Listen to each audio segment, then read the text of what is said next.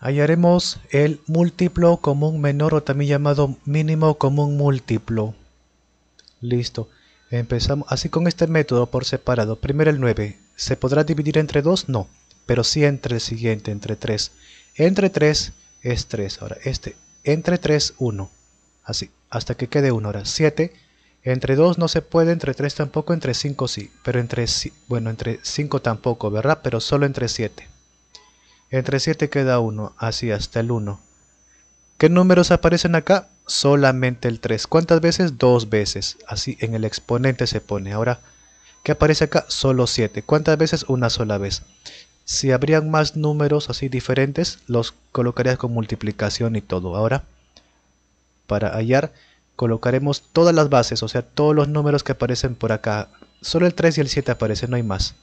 Se pone así con multiplicación. Ahora, el máximo exponente que tenga 3 el exponente más grande que tenga 3 acá, solo el 2, ¿verdad? Y un solo 3. Si hubiera otro 3 con otro exponente, pondría siempre el mayor. 7, hay un solo 7, así que su propio exponente. Ahora, 3 multiplicado dos veces. 3 por 3, 9. 7, cualquier número elevado a la 1 es el mismo número, así que así queda 9 por 7, 63. Más ejemplos, más diversos en las pantallas finales.